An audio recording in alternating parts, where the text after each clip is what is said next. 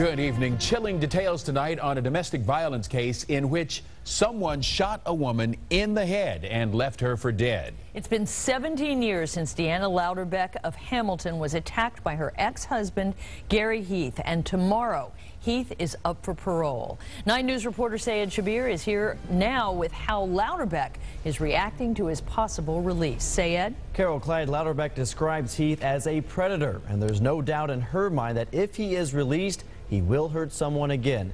Louderbeck says Heath has been granted parole before, and tonight she hopes the same mistake isn't made again.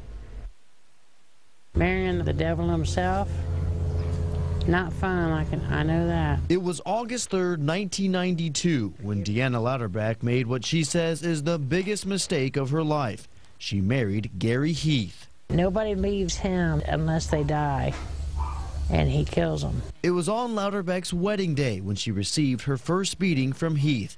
Eight months into the torturous marriage, Louderbeck filed for divorce.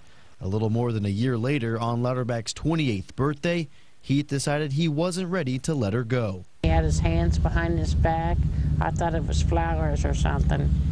Turns out it was a gun. Louderbeck says Heath shot her point blank in the side of her head.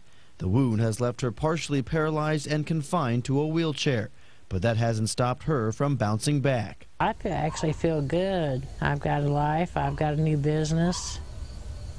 He don't. Prior to Heath shooting Louderbeck, he was convicted of stabbing another ex-wife with a pair of scissors.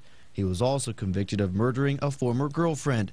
Still, Heath has found a way to avoid long sentences, and tomorrow he will once again be up for parole. If they let him out, what's he going to do? He's going to find somebody else that's successful He's going to throw his charm on them like he's going to do the parole board and like he did me and all the others.